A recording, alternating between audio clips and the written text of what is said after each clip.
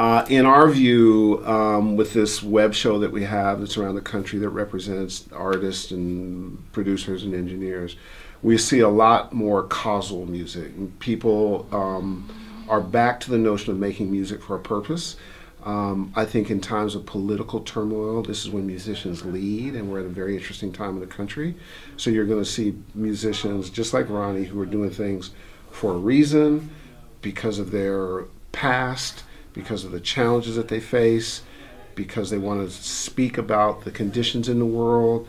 This is going to be a very fertile time for music and messaging and stuff. This is the time when musicians lead. There's sometimes musicians step back and they're just kind of the soundtrack of our lives, and there's other times they lead us through the wilderness. It's going to be a very, very great time for that kind of creativity. Don't miss it.